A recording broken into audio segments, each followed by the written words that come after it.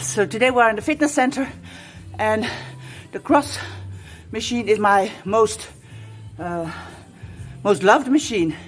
We'll make an exercise on that today. Oh, very difficult always to start.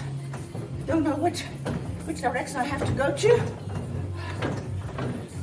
And it's very easy exercise today. So I make it a bit harder. Oh. I'm like swimming.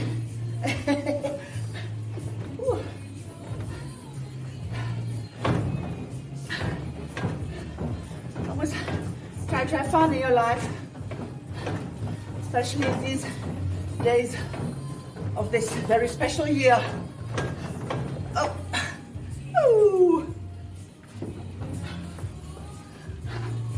That's it for today. Till next time, bye.